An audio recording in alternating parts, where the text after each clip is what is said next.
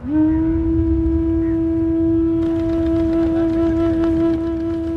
asked what's the biggest mistake we make in life,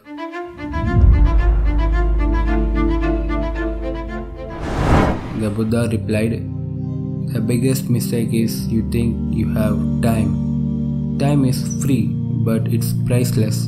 You cannot own it, but you can use it. You cannot keep it, but you can spend it. And once it's lost, you can never get it back. The average person lives 78 years. We spend 28.3 years of life sleeping. That almost third of our life, but 30% of struggle to sleep well.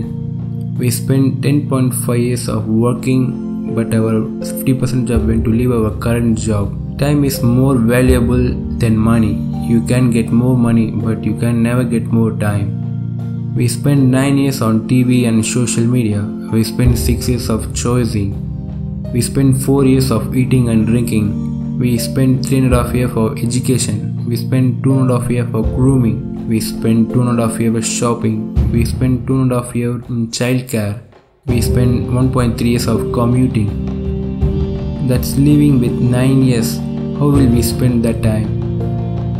Steve Jobs said your life is limited so do not waste it living someone else's life. So there is good news or bad news. The bad news is time is fly. The good news is you are the pilot.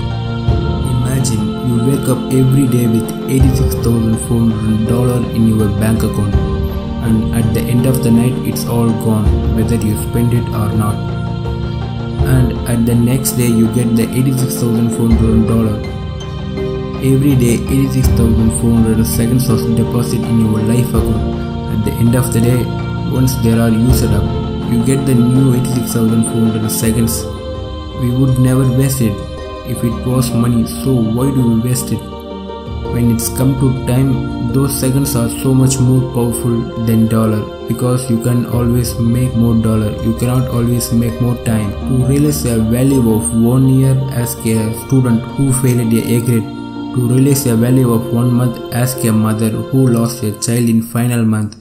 To realize the value of one week, ask a editor on a final of an online magazine. To realize the value of one hour, ask a couple who has a long distance relationship. To realize the value of one minute, ask a person who just missed a bus or train or plane. To realize the value of one second, ask a person who just missed an accident to realize the value of millisecond ask a person who just came second at the Olympic. We think it's people wasting our time, but it's really us giving them permission to do this.